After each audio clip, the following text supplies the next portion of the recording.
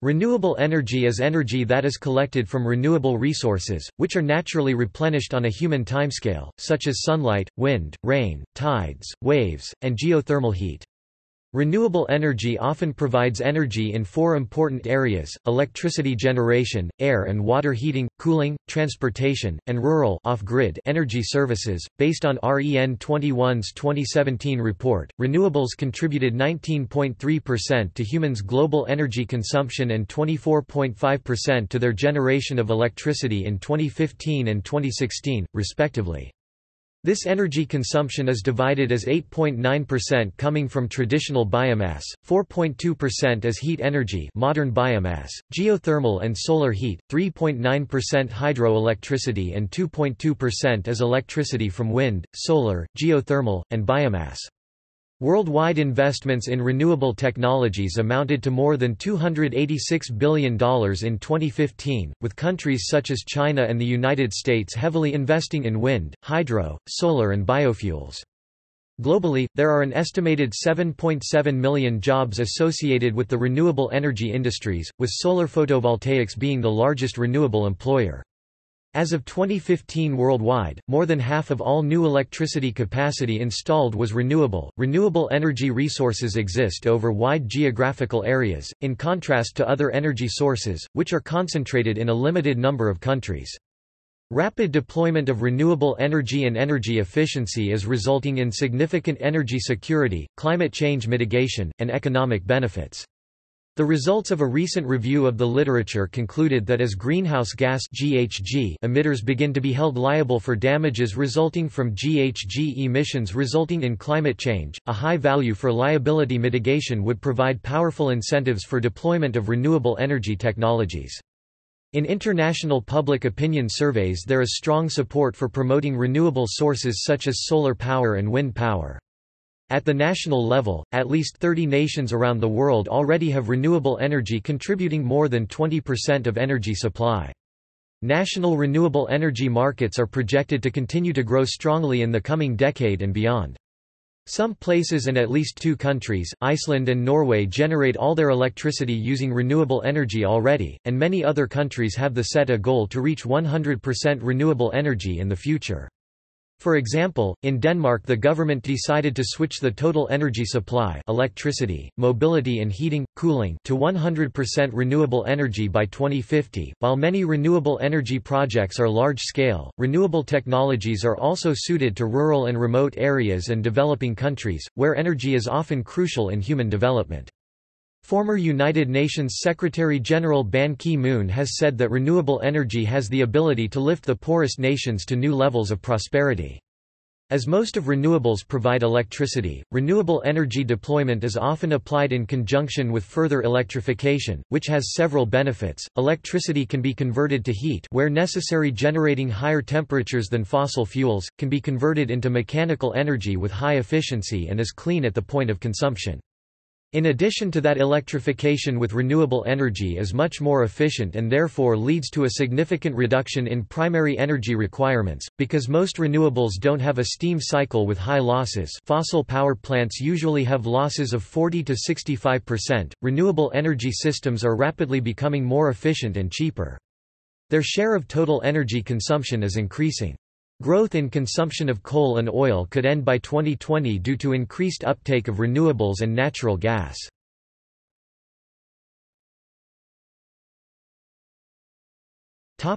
Overview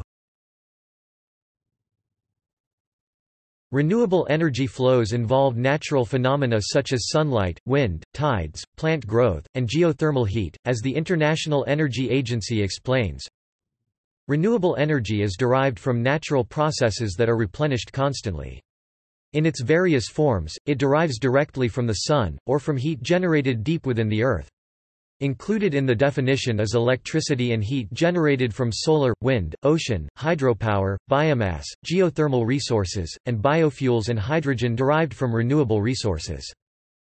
Renewable energy resources and significant opportunities for energy efficiency exist over wide geographical areas, in contrast to other energy sources, which are concentrated in a limited number of countries. Rapid deployment of renewable energy and energy efficiency, and technological diversification of energy sources, would result in significant energy security and economic benefits. It would also reduce environmental pollution such as air pollution caused by burning of fossil fuels and improve public health, reduce premature mortalities due to pollution and save associated health costs that amount to several hundred billion dollars annually only in the United States.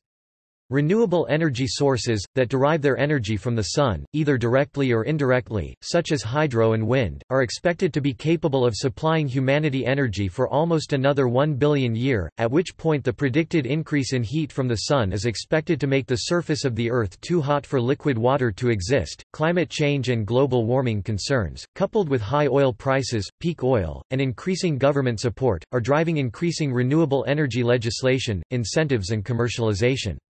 New government spending, regulation and policies helped the industry weather the global financial crisis better than many other sectors.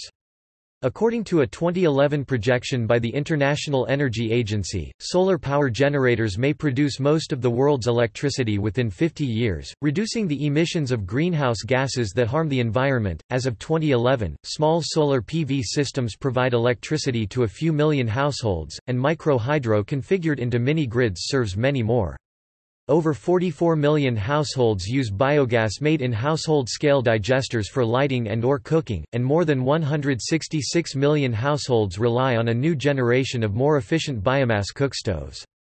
United Nations Secretary-General Ban Ki-moon has said that renewable energy has the ability to lift the poorest nations to new levels of prosperity. At the national level, at least 30 nations around the world already have renewable energy contributing more than 20% of energy supply. National renewable energy markets are projected to continue to grow strongly in the coming decade and beyond, and some 120 countries have various policy targets for longer-term shares of renewable energy, including a 20% target of all electricity generated for the European Union by 2020. Some countries have much higher long-term policy targets of up to 100% renewables.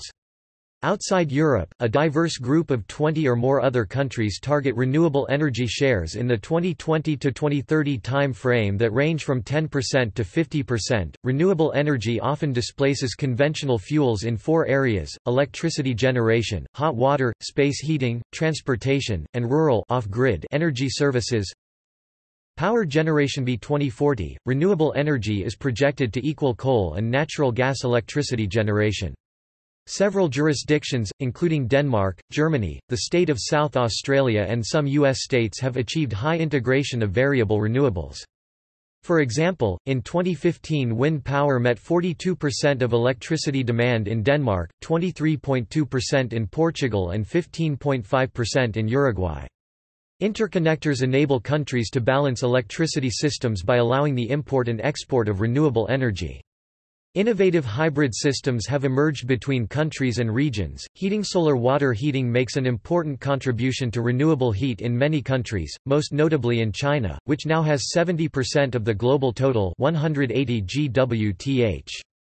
Most of these systems are installed on multi-family apartment buildings and meet a portion of the hot water needs of an estimated 50 to 60 million households in China. Worldwide, total installed solar water heating systems meet a portion of the water heating needs of over 70 million households. The use of biomass for heating continues to grow as well. In Sweden, national use of biomass energy has surpassed that of oil. Direct geothermal for heating is also growing rapidly. The newest addition to heating is from geothermal heat pumps which provide both heating and cooling, and also flatten the electric demand curve and are thus an increasing national priority see also renewable thermal energy, transportation Bioethanol is an alcohol made by fermentation, mostly from carbohydrates produced in sugar or starch crops such as corn, sugarcane, or sweet sorghum. Cellulosic biomass, derived from non-food sources such as trees and grasses is also being developed as a feedstock for ethanol production. Ethanol can be used as a fuel for vehicles in its pure form, but it is usually used as a gasoline additive to increase octane and improve vehicle emissions. Bioethanol is widely used in the USA and in Brazil. Biodiesel can be used as a fuel for vehicles in its pure form, but it is usually used as a diesel additive to reduce levels of particulates, carbon monoxide, and hydrocarbons from diesel-powered vehicles. Biodiesel is produced from oils or fats using transesterification and is the most common biofuel in Europe. A solar vehicle is an electric vehicle powered completely or significantly by direct solar energy. Usually, photovoltaic PV cells contained in solar panels convert the sun's energy directly into electric energy. The term, solar vehicle, usually implies that solar energy is used to power all or part of a vehicle's propulsion. Solar power may be also used to provide power for communications or controls or other auxiliary functions. Solar vehicles are not sold as practical day-to-day -day transportation devices at present, but are primarily demonstration vehicles and engineering exercises, often sponsored by government agencies. However, indirectly solar-charged vehicles are widespread and solar boats are available commercially.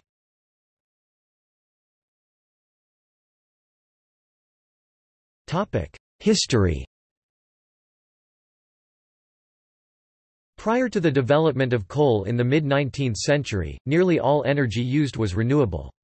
Almost without a doubt the oldest known use of renewable energy, in the form of traditional biomass to fuel fires, dates from 790,000 years ago. Use of biomass for fire did not become commonplace until many hundreds of thousands of years later, sometime between 200,000 and 400,000 years ago. Probably the second oldest usage of renewable energy is harnessing the wind in order to drive ships over water. This practice can be traced back some 7,000 years, to ships in the Persian Gulf and on the Nile. Moving into the time of recorded history, the primary sources of traditional renewable energy were human labor, animal power, water power, wind, in grain-crushing windmills, and firewood, a traditional biomass. A graph of energy use in the United States up until 1900 shows oil and natural gas with about the same importance in 1900 as wind and solar played in 2010. In the 1860s and 70s there were already fears that civilization would run out of fossil fuels and the need was felt for a better source. In 1873 Professor Augustin Mouchot wrote, The time will arrive when the industry of Europe will cease to find those natural resources, so necessary for it. Petroleum springs and coal mines are not inexhaustible but are rapidly diminishing in many places. Will man, then, return to the power of water and wind? Or will he emigrate where the most powerful source of heat sends its rays to all? History will show what will come. In 1885, Werner von Siemens, commenting on the discovery of the photovoltaic effect in the solid state, wrote, in conclusion, I would say that however great the scientific importance of this discovery may be, its practical value will be no less obvious when we reflect that the supply of solar energy is both without limit and without cost, and that it will continue to pour down upon us for countless ages after all the coal deposits of the Earth have been exhausted and forgotten. Max Weber mentioned the end of fossil fuel in the concluding paragraphs of his Die Protestantische Ethik und der Geist des Kapitalismus, published in 1905. Development of solar engines continued until the outbreak of World War I. The importance of solar energy was recognized in a 1911 Scientific American article. In the far distant future, natural fuels having been exhausted solar power will remain as the only means of existence of the human race. The Theory of Peak Oil was published in 1956. In the 1970s environmentalists promoted the development of renewable energy both as a replacement for the eventual depletion of oil, as well as for an escape from dependence on oil, and the first electricity-generating wind turbines appeared. Solar had long been used for heating and cooling, but solar panels were too costly to build solar farms until 1980. The IEA 2014 World Energy Outlook projects a growth of renewable energy supply from 1,700 gigawatts in 2014 to 4,550 gigawatts in 2040. Fossil fuels received about $550 billion in subsidies in 2013, compared to $120 billion for all renewable energies.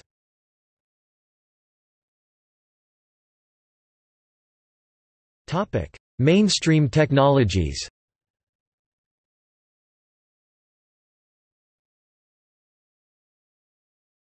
Topic: Wind power Airflows can be used to run wind turbines. Modern utility-scale wind turbines range from around 600 kilowatts to 5 megawatts of rated power, although turbines with rated output of 1.5 to 3 megawatts have become the most common for commercial use. The largest generator capacity of a single installed onshore wind turbine reached 7.5 MW in 2015. The power available from the wind is a function of the cube of the wind speed, so as wind speed increases, power output increases up to the maximum output for the particular turbine. Areas where winds are stronger and more constant, such as offshore and high-altitude sites, are preferred locations for wind farms. Typically full load hours of wind turbines vary between 16 and 57% annually, but might be higher in particularly favorable offshore sites. Wind generated electricity met nearly 4% of global electricity demand in 2015, with nearly 63 gigawatts of new wind power capacity installed. Wind energy was the leading source of new capacity in Europe, the US and Canada, and the second largest in China. In Denmark, wind energy met more than 40% of its electricity demand while Ireland, Portugal and Spain each met nearly 20%. Globally, the long-term technical potential of wind energy is believed to be five times total current global energy production, or 40 times current electricity demand, assuming all practical barriers needed were overcome. This would require wind turbines to be installed over large areas, particularly in areas of higher wind resources, such as offshore. As offshore wind speeds average approximately 90% greater than that of land, so offshore resources can contribute substantially more energy than land station turbines.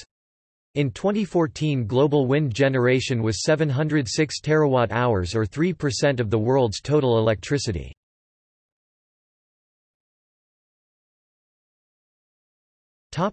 Hydropower In 2015 hydropower generated 16.6% of the world's total electricity and 70% of all renewable electricity.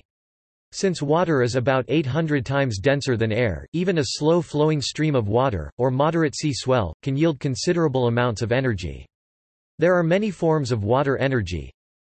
Historically hydroelectric power came from constructing large hydroelectric dams and reservoirs, which are still popular in Third World countries.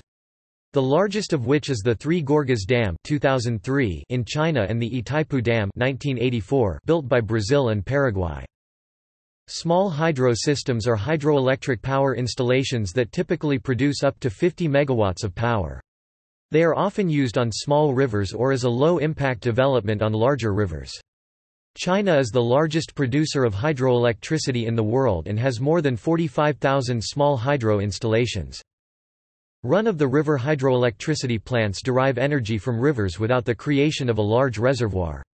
The water is typically conveyed along the side of the river valley using channels, pipes and or tunnels until it is high above the valley floor, whereupon it can allowed to fall through a penstock to drive a turbine. This style of generation may still produce a large amount of electricity, such as the Chief Joseph Dam on the Columbia River in the United States. Hydropower is produced in 150 countries, with the Asia Pacific region generating 32% of global hydropower in 2010. For countries having the largest percentage of electricity from renewables, the top 50 are primarily hydroelectric. China is the largest hydroelectricity producer, with 721 terawatt-hours of production in 2010, representing around 17% of domestic electricity use. There are now three hydroelectricity stations larger than 10 gigawatts, the Three Gorges Dam in China, Itaipu Dam across the Brazil-Paraguay border, and Guri Dam in Venezuela. Wave power, which captures the energy of ocean surface waves, and tidal power, converting the energy of tides, are two forms of hydropower with future potential, however, they are not yet widely employed commercially. A demonstration project operated by the Ocean Renewable Power Company on the coast of Maine, and connected to the grid, harnesses tidal power from the Bay of Fundy, location of world's highest tidal flow. Ocean thermal energy conversion, which uses the temperature difference between cooler deep and warmer surface waters, currently has no economic feasibility.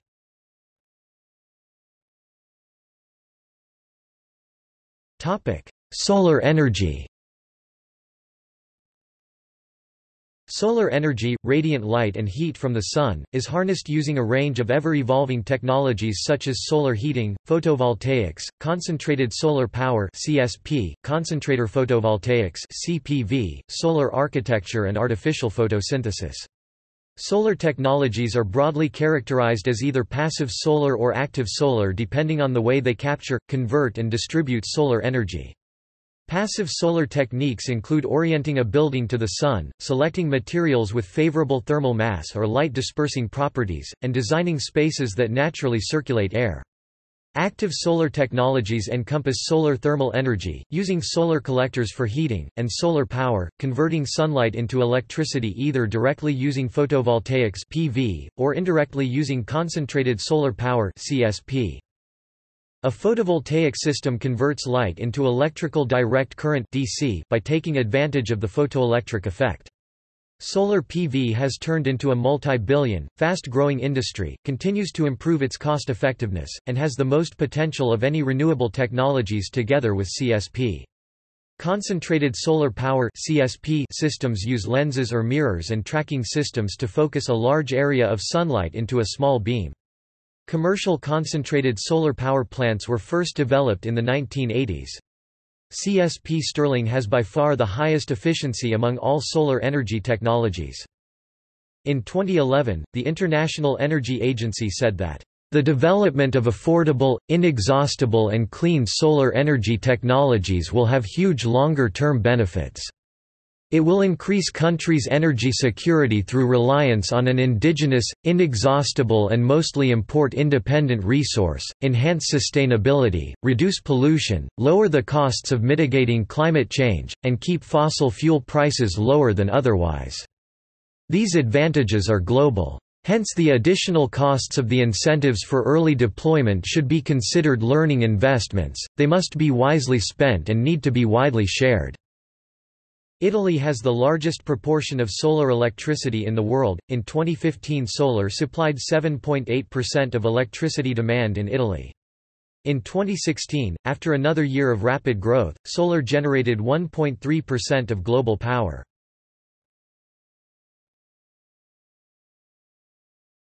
Topic: Geothermal energy. High-temperature geothermal energy is from thermal energy generated and stored in the Earth.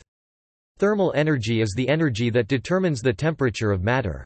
Earth's geothermal energy originates from the original formation of the planet and from radioactive decay of minerals in currently uncertain but possibly roughly equal proportions. The geothermal gradient, which is the difference in temperature between the core of the planet and its surface, drives a continuous conduction of thermal energy in the form of heat from the core to the surface. The adjective geothermal originates from the Greek roots geo, meaning earth, and thermos, meaning heat. The heat that is used for geothermal energy can be from deep within the Earth, all the way down to Earth's core 4,000 miles 6,400 kilometers down. At the core, temperatures may reach over 9,000 degrees Fahrenheit 5,000 degrees Celsius. Heat conducts from the core to surrounding rock. Extremely high temperature and pressure cause some rock to melt, which is commonly known as magma. Magma convects upward since it is lighter than the solid rock.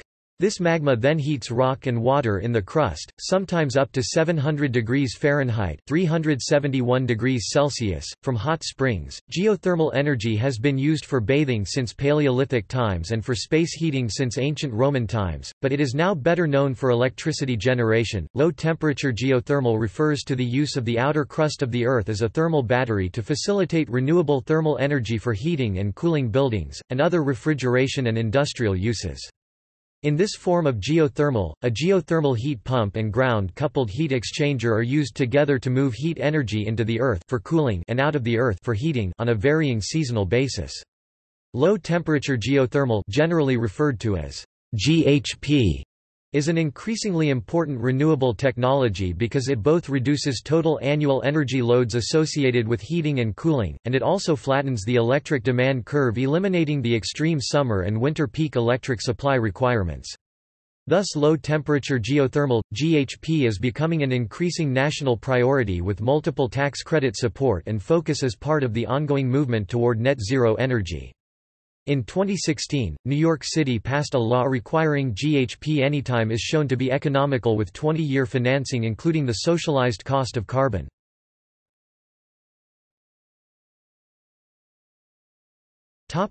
Bioenergy Biomass is biological material derived from living, or recently living organisms. It most often refers to plants or plant-derived materials which are specifically called lignocellulosic biomass. As an energy source, biomass can either be used directly via combustion to produce heat, or indirectly after converting it to various forms of biofuel.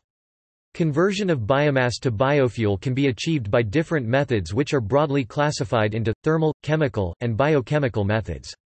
Wood remains the largest biomass energy source today. Examples include forest residues, such as dead trees, branches and tree stumps, yard clippings, wood chips, and even municipal solid waste. In the second sense, biomass includes plant or animal matter that can be converted into fibers or other industrial chemicals, including biofuels. Industrial biomass can be grown from numerous types of plants, including miscanthus, switchgrass, hemp, corn, poplar, willow, sorghum, sugarcane, bamboo, and a variety of tree species, ranging from eucalyptus to oil palm, palm oil. Plant energy is produced by crops specifically grown for use as fuel that offer high biomass output per hectare with low input energy. Some examples of these plants are wheat, which typically yield 7.5 to 8 tons of grain per hectare, and straw, which typically yield 3.5 to 5 tons per hectare in the UK. The grain can be used for liquid transportation fuels while the straw can be burned to produce heat or electricity. Plant biomass can also be degraded from cellulose to glucose through a series of chemical treatments, and the resulting sugar can then be used as a first-generation biofuel. Biomass can be converted to other usable forms of energy such as methane gas or transportation fuels such as ethanol and biodiesel. Rotting garbage, and agricultural and human waste, all release methane gas, also called landfill gas or biogas. Crops, such as corn and sugarcane, can be fermented to produce the transportation fuel, ethanol. Biodiesel, another transportation fuel, can be produced from left-over food products such as vegetable oils and animal fats. Also, biomass to liquids BTLs and cellulosic ethanol are still under research. There is a great deal of research involving algal fuel or algae-derived biomass due to the fact that it's a non-food resource and can be produced at rates 5 to 10 times those of other types of land-based agriculture, such as corn and soy. Once harvested, it can be fermented to produce biofuels such as ethanol, butanol, and methane, as well as biodiesel and hydrogen. The biomass used for electricity generation varies by region. Forest byproducts, such as wood residues, are common in the United States. Agricultural waste is common in Mauritius sugar cane residue and Southeast Asia rice husks. Animal husbandry residues, such as poultry litter, are common in the United Kingdom. Biofuels include a wide range of fuels which are derived from biomass. The term covers solid, liquid, and gaseous fuels. Liquid biofuels include bioalcohols, such as bioethanol, and oils, such as biodiesel. Gaseous biofuels include biogas, landfill gas and synthetic gas. Bioethanol is an alcohol made by fermenting the sugar components of plant materials and it is made mostly from sugar and starch crops.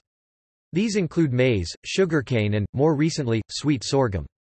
The latter crop is particularly suitable for growing in dryland conditions, and is being investigated by International Crops Research Institute for the semi-arid tropics for its potential to provide fuel, along with food and animal feed, in arid parts of Asia and Africa. With advanced technology being developed, cellulosic biomass, such as trees and grasses, are also used as feedstocks for ethanol production. Ethanol can be used as a fuel for vehicles in its pure form, but it is usually used as a gasoline additive to increase octane and improve vehicle emissions. Bioethanol is widely used in the United States and in Brazil. The energy costs for producing bioethanol are almost equal to, the energy yields from bioethanol. However, according to the European Environment Agency, biofuels do not address global warming concerns. Biodiesel is made from vegetable oils, animal fats or recycled greases.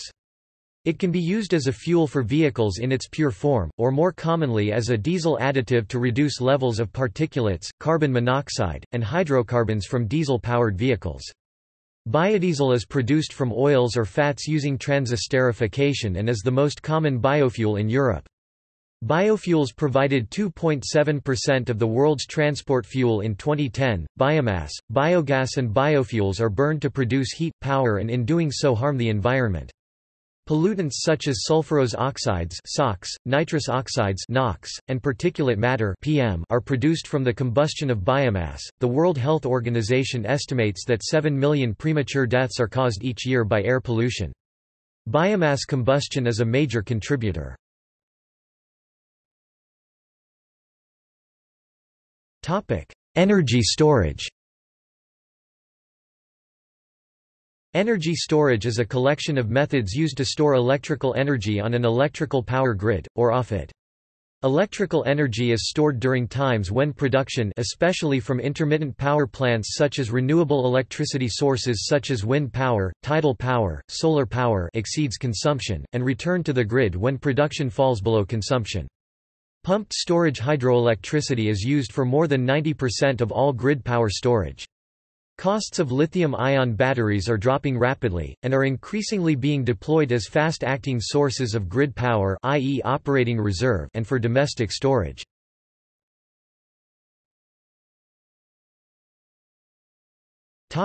Market and industry trends Renewable power has been more effective in creating jobs than coal or oil in the United States. Topic growth of renewables From the end of 2004, worldwide renewable energy capacity grew at rates of 10 to 60% annually for many technologies. In 2015 global investment in renewables rose 5% to $285.9 billion, breaking the previous record of $278.5 billion in 2011.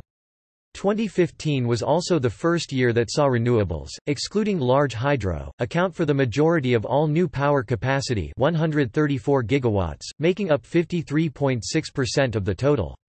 Of the renewables total, wind accounted for 72 gigawatts and solar photovoltaics 56 gigawatts, both record-breaking numbers and sharply up from 2014 figures 49 gigawatts and 45 gigawatts respectively.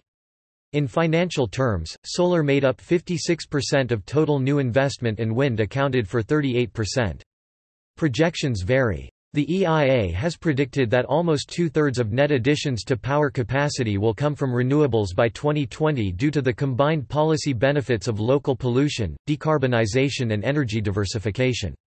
Some studies have set out roadmaps to power 100% of the world's energy with wind, hydroelectric and solar by the year 2030. According to a 2011 projection by the International Energy Agency, solar power generators may produce most of the world's electricity within 50 years, reducing the emissions of greenhouse gases that harm the environment.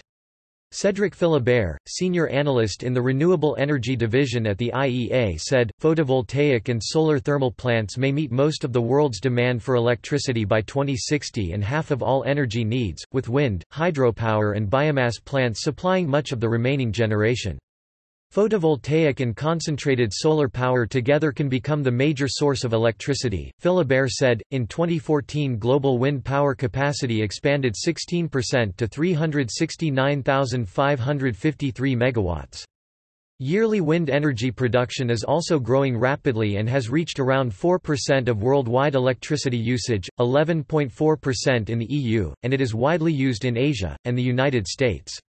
In 2015, worldwide installed photovoltaics capacity increased to 227 gigawatts (GW), sufficient to supply 1% of global electricity demands. Solar thermal energy stations operate in the United States and Spain, and as of 2016, the largest of these is the 392 MW Ivanpah solar electric generating system in California. The world's largest geothermal power installation is the geysers in California, with a rated capacity of 750 megawatts. Brazil has one of the largest renewable energy programs in the world, involving production of ethanol fuel from sugar cane, and ethanol now provides 18% of the country's automotive fuel. Ethanol fuel is also widely available in the United States. As of 2018, American electric utility companies are planning new or extra renewable energy investments. These investments are particularly aimed at solar energy, thanks to the Tax Cuts and Jobs Act of 2017 being signed into law. The law retained incentives for renewable energy development. Utility companies are taking advantage of the federal solar investment tax credit before it permanently goes down to 10% after 2021. According to the March 28 S&P Global Market Intelligence Report Summary, NextEra Energy Inc., Duke Energy Corp., and Dominion Energy Inc.'s utilities are among a number of companies in the sector contemplating significant solar investments in the near term. Other companies, including Xcel Energy Inc. and Alliant Energy Corp., are undertaking large wind projects in the near term, but are considering ramping up solar investments in the coming years.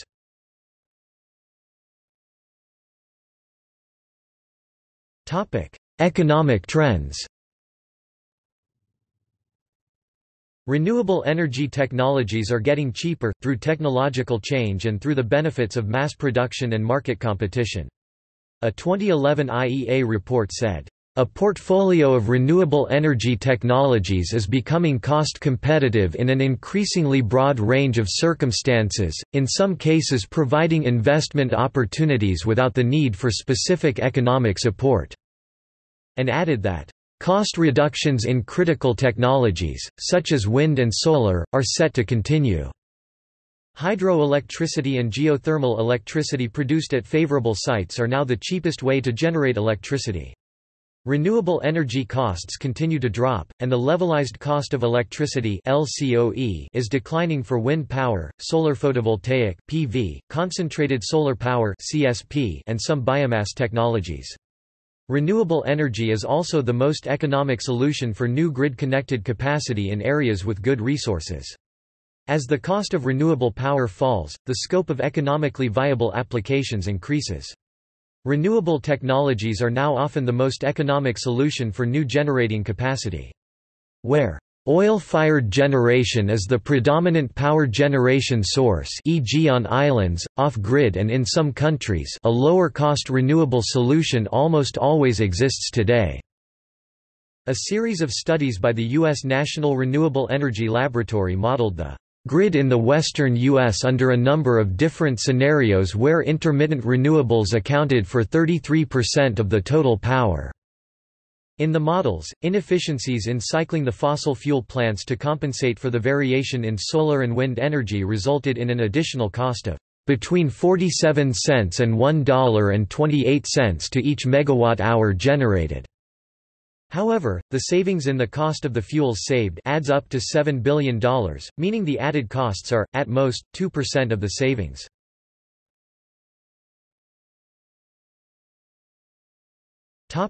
Hydroelectricity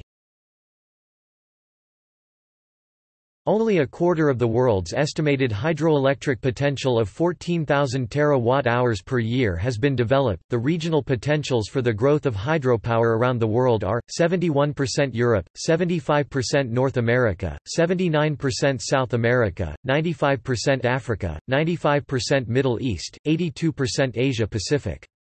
However, the political realities of new reservoirs in Western countries, economic limitations in the Third World and the lack of a transmission system in undeveloped areas, result in the possibility of developing 25% of the remaining potential before 2050, with the bulk of that being in the Asia-Pacific area. There is slow growth taking place in western counties, but not in the conventional dam and reservoir style of the past. New projects take the form of run-of-the-river and small hydro, neither using large reservoirs. It is popular to repower old dams thereby increasing their efficiency and capacity as well as quicker responsiveness on the grid.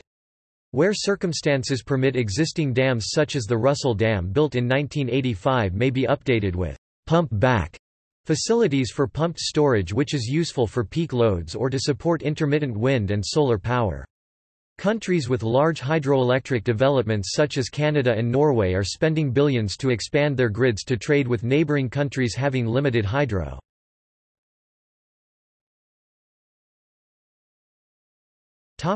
Wind power development Wind power is widely used in Europe, China, and the United States. From 2004 to 2014, worldwide installed capacity of wind power has been growing from 47 gigawatts to 369 gigawatts. A more than sevenfold increase within 10 years with 2014 breaking a new record in global installations 51 gigawatts. As of the end of 2014, China, the United States and Germany combined accounted for half of total global capacity. Several other countries have achieved relatively high levels of wind power penetration, such as 21% of stationary electricity production in Denmark, 18% in Portugal, 16% in Spain, and 14% in Ireland in 2010 and have since continued to expand their installed capacity. More than 80 countries around the world are using wind power on a commercial basis. Offshore wind power As of 2014, offshore wind power amounted to 8,771 MW of global installed capacity. Although offshore capacity doubled within three years from 4,117 MW in 2011, it accounted for only 2.3% of the total wind power capacity.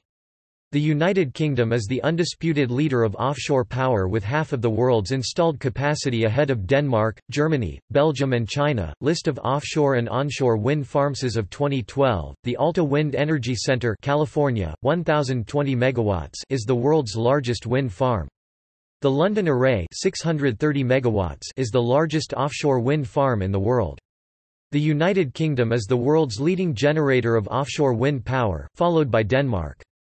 There are several large offshore wind farms operational and under construction and these include Anholt 400 megawatts, Bard 400 megawatts, Clyde 548 megawatts, Fântânele-Cogealac 600 megawatts, Greater Gabbard 500 megawatts, Lincs 270 megawatts, London Array 630 megawatts, Lower Snake River 343 megawatts, MacArthur 420 megawatts, Shepherd's Flat 845 megawatts, and the Sheringham Shoal 300 317 megawatts.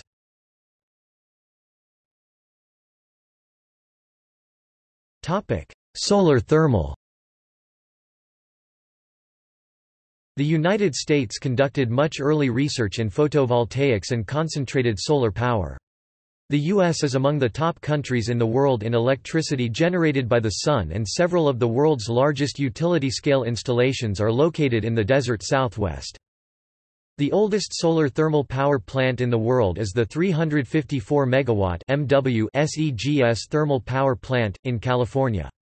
The Ivanpah Solar Electric Generating System is a solar thermal power project in the California Mojave Desert, 40 miles 64 kilometers southwest of Las Vegas, with a gross capacity of 377 megawatts. The 280 MW Solana Generating Station is a solar power plant near Gila Bend, Arizona, about 70 miles 110 kilometers southwest of Phoenix, completed in 2013. When commissioned it was the largest parabolic trough plant in the world and the first U.S. solar plant with molten salt thermal energy storage. The solar thermal power industry is growing rapidly with 1.3 gigawatts under construction in 2012 and more planned. Spain is the epicenter of solar thermal power development with 873 megawatts under construction, and a further 271 megawatts under development. In the United States, 5,600 megawatts of solar thermal power projects have been announced. Several power plants have been constructed in the Mojave Desert, southwestern United States. The Ivanpah Solar Power Facility being the most recent. In developing countries, three World Bank projects for integrated solar thermal, combined cycle gas turbine power plants in Egypt, Mexico, and Morocco have been approved.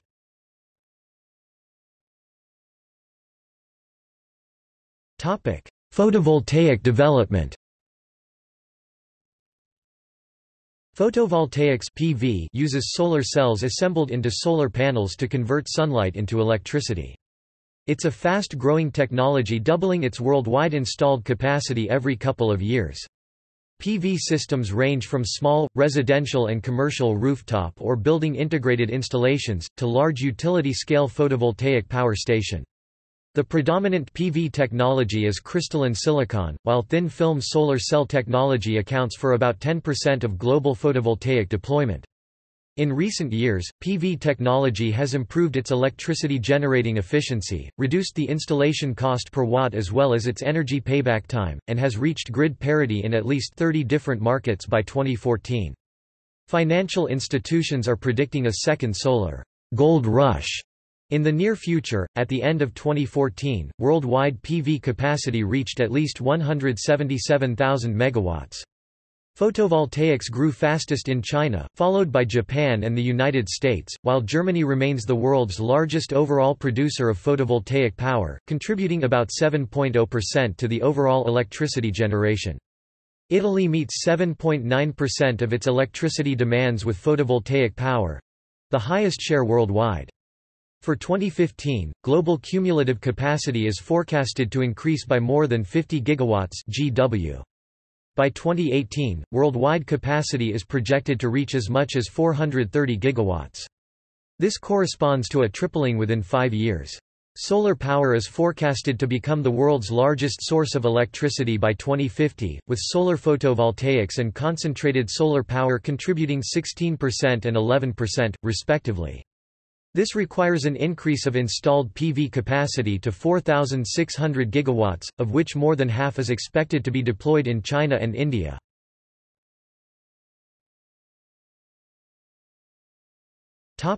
Photovoltaic power stations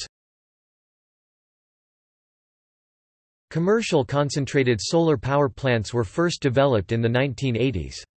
As the cost of solar electricity has fallen, the number of grid-connected solar PV systems has grown into the millions and utility-scale solar power stations with hundreds of megawatts are being built. Solar PV is rapidly becoming an inexpensive, low-carbon technology to harness renewable energy from the sun. Many solar photovoltaic power stations have been built, mainly in Europe, China and the United States. The 579 MW Solar Star, in the United States, is the world's largest PV power station. Many of these plants are integrated with agriculture and some use tracking systems that follow the sun's daily path across the sky to generate more electricity than fixed-mounted systems. There are no fuel costs or emissions during operation of the power stations. However, when it comes to renewable energy systems and PV, it is not just large systems that matter. Building integrated photovoltaics or on-site PV systems use existing land and structures and generate power close to where it is consumed.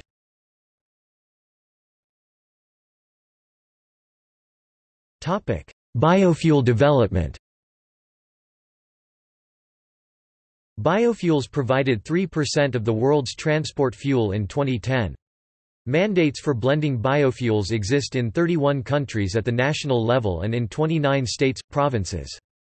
According to the International Energy Agency, biofuels have the potential to meet more than a quarter of world demand for transportation fuels by 2050. Since the 1970s, Brazil has had an ethanol fuel program which has allowed the country to become the world's second largest producer of ethanol after the United States and the world's largest exporter. Brazil's ethanol fuel program uses modern equipment and cheap sugarcane as feedstock, and the residual cane waste bagasse is used to produce heat and power. There are no longer light vehicles in Brazil running on pure gasoline. By the end of 2008 there were 35,000 filling stations throughout Brazil with at least one ethanol pump.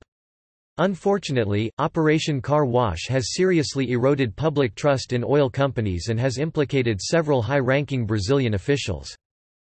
Nearly all the gasoline sold in the United States today is mixed with 10% ethanol, and motor vehicle manufacturers already produce vehicles designed to run on much higher ethanol blends.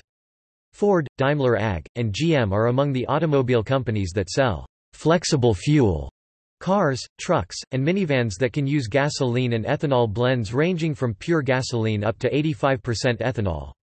By mid-2006, there were approximately 6 million ethanol-compatible vehicles on U.S. roads.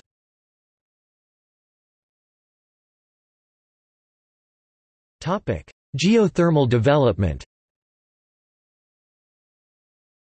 Geothermal power is cost-effective, reliable, sustainable, and environmentally friendly, but has historically been limited to areas near tectonic plate boundaries. Recent technological advances have expanded the range and size of viable resources, especially for applications such as home heating, opening a potential for widespread exploitation. Geothermal wells release greenhouse gases trapped deep within the earth, but these emissions are much lower per energy unit than those of fossil fuels.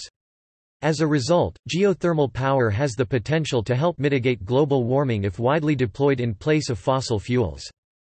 The International Geothermal Association has reported that 10,715 megawatts of geothermal power in 24 countries is online, which is expected to generate 67,246 gigawatt-hours of electricity in 2010. This represents a 20% increase in geothermal power online capacity since 2005. IGA projects this will grow to 18,500 megawatts by 2015, due to the large number of projects presently under consideration, often in areas previously assumed to have little exploitable resource. In 2010, the United States led the world in geothermal electricity production with 3,086 megawatts of installed capacity from 77 power plants. The largest group of geothermal power plants in the world is located at the Geysers, a geothermal field in California. The Philippines follows the U.S. as the second highest producer of geothermal power in the world, with 1,904 megawatts of capacity online. Geothermal power makes up approximately 18% of the country's electricity generation.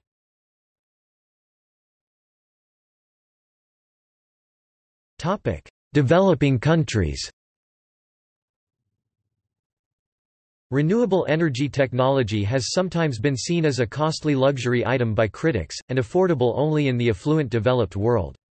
This erroneous view has persisted for many years, but 2015 was the first year when investment in non-hydro renewables, was higher in developing countries, with $156 billion invested, mainly in China, India, and Brazil. Renewable energy can be particularly suitable for developing countries. In rural and remote areas, transmission and distribution of energy generated from fossil fuels can be difficult and expensive. Producing renewable energy locally can offer a viable alternative. Technology advances are opening up a huge new market for solar power. The approximately 1.3 billion people around the world who don't have access to grid electricity. Even though they are typically very poor, these people have to pay far more for lighting than people in rich countries because they use inefficient kerosene lamps. Solar power costs half as much as lighting with kerosene. As of 2010, an estimated 3 million households get power from small solar PV systems. Kenya is the world leader in the number of solar power systems installed per capita. More than 30,000 very small solar panels, each producing 12 to 30 watts, are sold in Kenya annually. Some small island developing states are also turning to solar power to reduce their costs and increase their sustainability. Micro-hydro configured into mini-grids also provide power. Over 44 million households use biogas made in household-scale digesters for lighting and or cooking, and more than 166 million households rely on a new generation of more efficient biomass cookstoves. Clean liquid fuel sourced from renewable feedstocks are used for cooking and lighting in energy-poor areas of the developing world. Alcohol fuels ethanol and methanol can be produced sustainably from non-food sugary, starchy, and cellulosic feedstocks. Project Gaia, Inc. and CleanStar Mozambique are implementing clean cooking programs with liquid ethanol stoves in Ethiopia, Kenya, Nigeria, and Mozambique. Renewable energy projects in many developing countries have demonstrated that renewable energy can directly contribute to poverty reduction by providing the energy needed for creating businesses and employment. Renewable energy technologies can also make indirect contributions to alleviating poverty by providing energy for cooking, space heating, and lighting.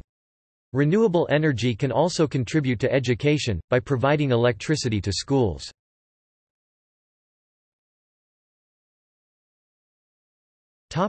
Industry and policy trends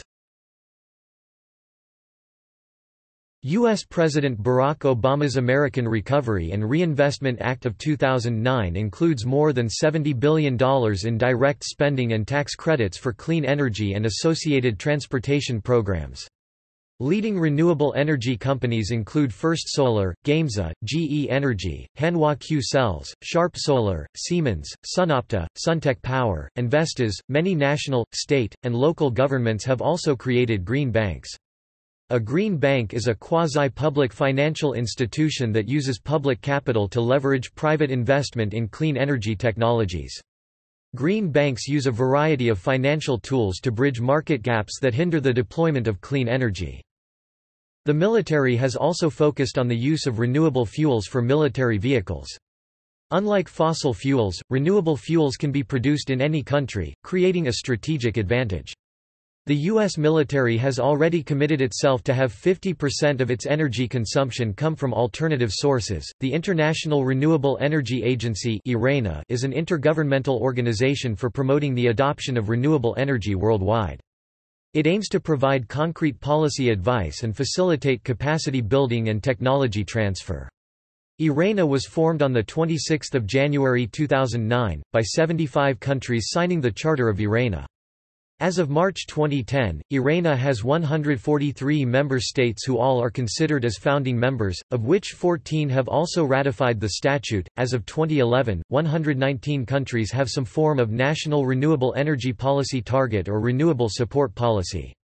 National targets now exist in at least 98 countries. There is also a wide range of policies at state, provincial, and local levels. United Nations Secretary General Ban Ki moon has said that renewable energy has the ability to lift the poorest nations to new levels of prosperity. In October 2011, he announced the creation of a high-level group to drum up support for energy access, energy efficiency and greater use of renewable energy. The group is to be co-chaired by Kandeh Yumkella, the chair of UN Energy and Director General of the UN Industrial Development Organization, and Charles Holliday, chairman of Bank of America.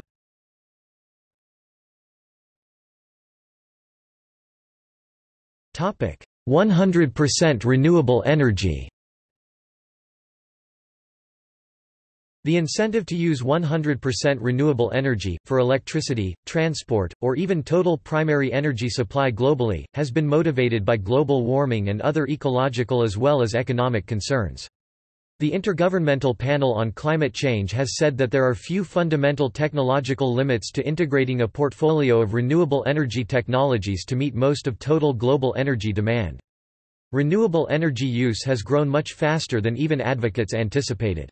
At the national level, at least 30 nations around the world already have renewable energy contributing more than 20% of energy supply. Also, professors S. Pacala and Robert H. Socolow have developed a series of stabilization wedges that can allow us to maintain our quality of life while avoiding catastrophic climate change, and renewable energy sources, in aggregate, constitute the largest number of their wedges. Using 100% renewable energy was first suggested in a science paper published in 1975 by Danish physicist Bent Sorensen. It was followed by several other proposals, until in 1998 the first detailed analysis of scenarios with very high shares of renewables were published. These were followed by the first detailed 100% scenarios. In 2006 a PhD thesis was published by Czisch in which it was shown that in a 100% renewable scenario energy supply could match demand in every hour of the year in Europe and North Africa. In the same year Danish energy professor Henrik Lund published a first paper in which he addresses the optimal combination of renewables, which was followed by several other papers on the transition to 100% renewable energy in Denmark. Since then Lund has been publishing several papers on 100% renewable energy. After 2009 publications began to rise steeply, covering 100% scenarios for countries in Europe, America, Australia and other parts of the world. In 2011 Mark Z. Jacobson, professor of civil and environmental engineering at Stanford University, and Mark DeLucchi published a study on 100% renewable global energy supply in the journal Energy Policy. They found producing all new energy with wind power, solar power, and hydropower by 2030 is feasible and existing energy supply arrangements could be replaced by 2050. Barriers to implementing the renewable energy plan are seen to be primarily social and political, not technological or economic.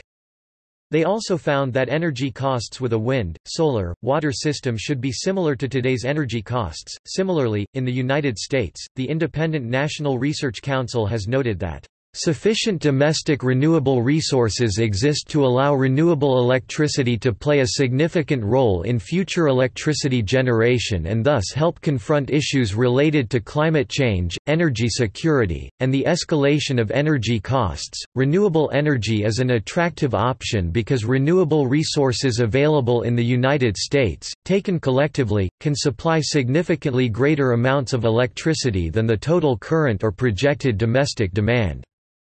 The most significant barriers to the widespread implementation of large-scale renewable energy and low-carbon energy strategies are primarily political and not technological.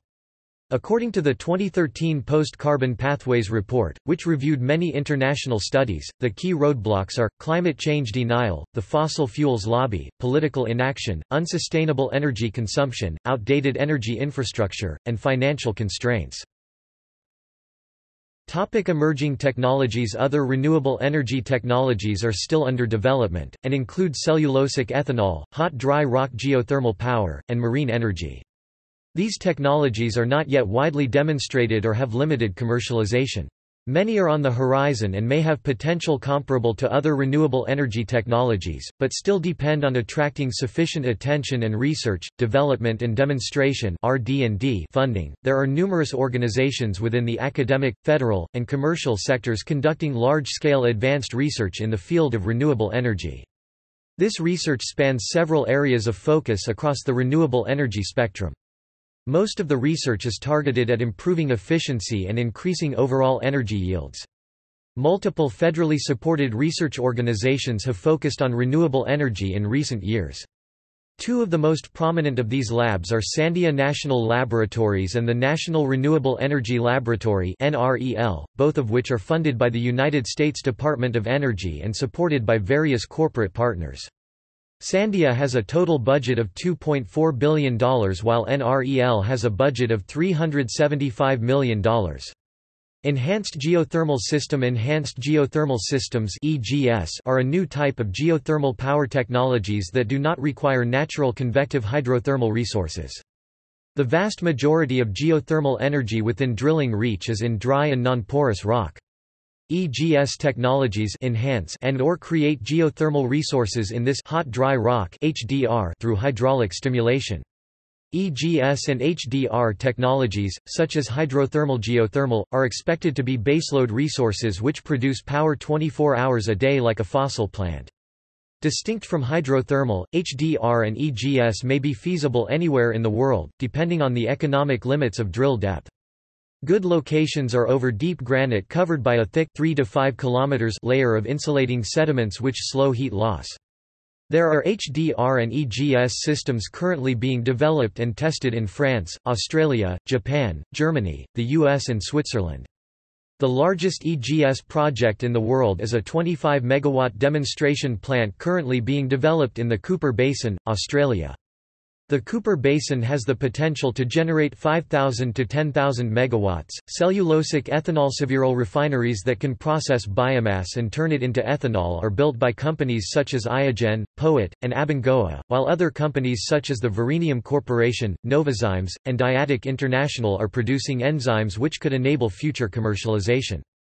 The shift from food crop feedstocks to waste residues and native grasses offers significant opportunities for a range of players, from farmers to biotechnology firms, and from project developers to investors. Marine energy Marine energy also sometimes referred to as ocean energy refers to the energy carried by ocean waves, tides, salinity, and ocean temperature differences.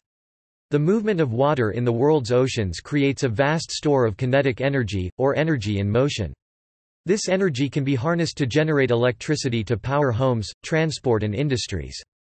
The term marine energy encompasses both wave power, power from surface waves, and tidal power, obtained from the kinetic energy of large bodies of moving water. Reverse electrodialysis is a technology for generating electricity by mixing fresh river water and salty sea water in large power cells designed for this purpose. As of 2016 it is being tested at a small scale 50 kilowatts. Offshore wind power is not a form of marine energy, as wind power is derived from the wind, even if the wind turbines are placed over water. The oceans have a tremendous amount of energy and are close to many if not most concentrated populations. Ocean energy has the potential of providing a substantial amount of new renewable energy around the world. Experimental solar power concentrated photovoltaics (CPV) systems employ sunlight concentrated onto photovoltaic surfaces for the purpose of electricity generation. Thermoelectric or thermovoltaic Devices convert a temperature difference between dissimilar materials into an electric current. Floating solar arrays Floating solar arrays are PV systems that float on the surface of drinking water reservoirs, quarry lakes, irrigation canals or remediation and tailing ponds. A small number of such systems exist in France, India, Japan, South Korea, the United Kingdom, Singapore and the United States. The systems are said to have advantages over photovoltaics on land. The cost of land is more expensive, and there are fewer rules and regulations for structures built on bodies of water not used for recreation. Unlike most land-based solar plants, floating arrays can be unobtrusive because they are hidden from public view. They achieve higher efficiencies than PV panels on land, because water cools the panels. The panels have a special coating to prevent rust or corrosion. In May 2008, the Far Niente Winery in Oakville, California, pioneered the world's first photovoltaic system by installing 994 solar PV modules with a total capacity of 477 kilowatts onto 130 pontoons and floating them on the winery's irrigation pond. Utility-scale floating PV farms are starting to be built. Kyocera will develop the world's largest, a 13.4 MW farm on the reservoir above Yamakura Dam in Chiba Prefecture using 50,000 solar panels. Salt water-resistant floating farms are also being constructed for ocean use. The largest so far announced photovoltaic project is a 350 MW power station in the Amazon region of Brazil. Solar assisted heat pump A heat pump is a device that provides heat energy from a source of heat to a destination called a heat sink. Heat pumps are designed to move thermal energy opposite to the direction of spontaneous heat flow by absorbing heat from a cold space and releasing it to a warmer one. A solar-assisted heat pump represents the integration of a heat pump and thermal solar panels in a single integrated system.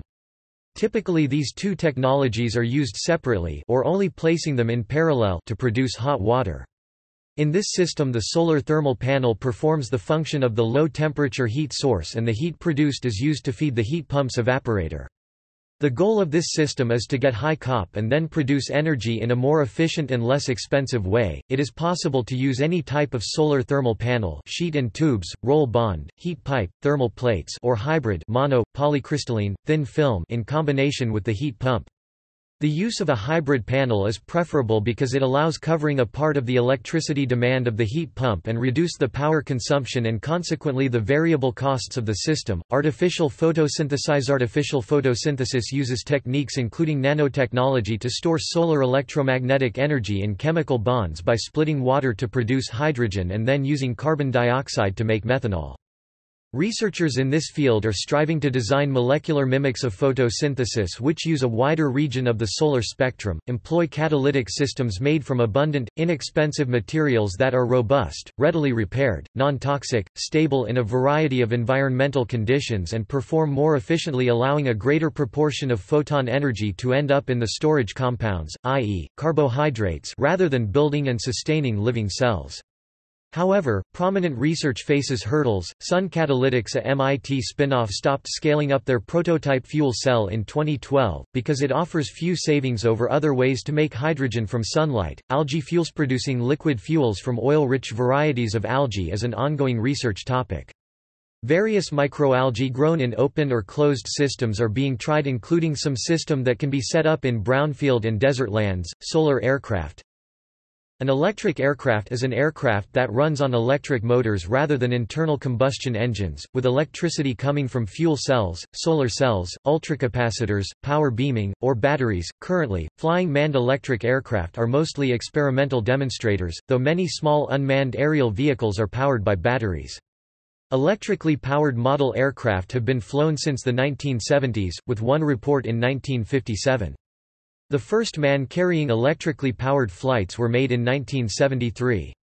Between 2015–2016, a manned, solar-powered plane, Solar Impulse 2, completed a circumnavigation of the Earth. Solar Updraft Towers Solar Updraft Tower is a renewable energy power plant for generating electricity from low-temperature solar heat.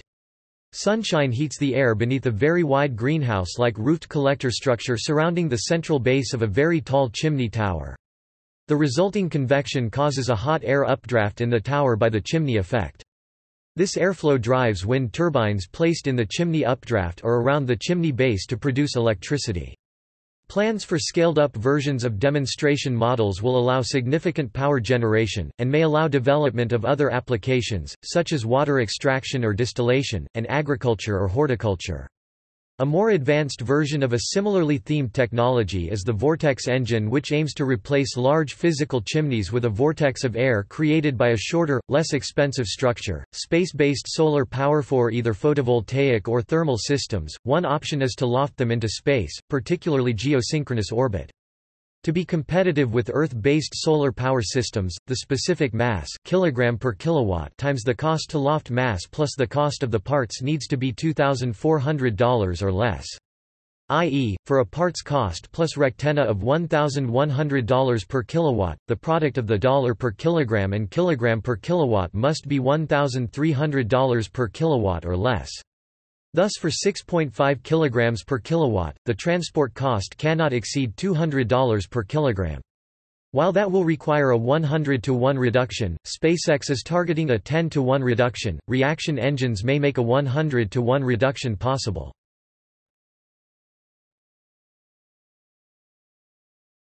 Topic: Debate Renewable electricity production, from sources such as wind power and solar power, is sometimes criticized for being variable or intermittent, but is not true for concentrated solar, geothermal and biofuels, that have continuity. In any case, the International Energy Agency has stated that deployment of renewable technologies usually increases the diversity of electricity sources and, through local generation, contributes to the flexibility of the system and its resistance to central shocks. There have been not in my backyard. NIMBY concerns relating to the visual and other impacts of some wind farms, with local residents sometimes fighting or blocking construction. In the United States, the Massachusetts Cape Wind project was delayed for years partly because of aesthetic concerns. However, residents in other areas have been more positive. According to a town councillor, the overwhelming majority of locals believe that the Ardrossan wind farm in Scotland has enhanced the area. A recent UK government document states that projects are generally more likely to succeed if they have broad public support and the consent of local communities. This means giving communities both a say and a stake. In countries such as Germany and Denmark many renewable projects are owned by communities, particularly through cooperative structures, and contribute significantly to overall levels of renewable energy deployment. The market for renewable energy technologies has continued to grow. Climate change concerns and increasing in green jobs, coupled with high oil prices, peak oil, oil wars, oil spills, promotion of electric vehicles and renewable electricity, nuclear disasters and increasing government support, are driving increasing renewable energy legislation, incentives and commercialization. New government spending, regulation and policies helped the industry weather the 2009 economic crisis better than many other sectors. While renewables have been very successful in their ever-growing contribution to electrical power there are no countries dominated by fossil fuels who have a plan to stop and get that power from renewables. Only Scotland and Ontario have stopped burning coal, largely due to good natural gas supplies. In the area of transportation, fossil fuels are even more entrenched and solutions harder to find. It's unclear if there are failures with policy or renewable energy, but 20 years after the Kyoto Protocol fossil fuels are still our primary energy source and consumption continues to grow.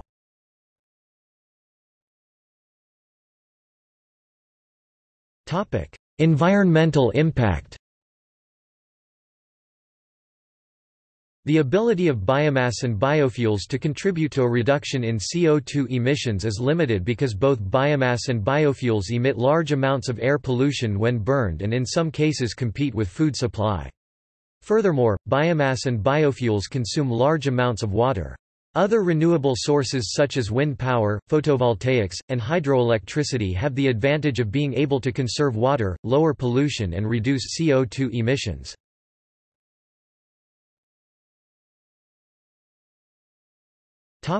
Gallery. See also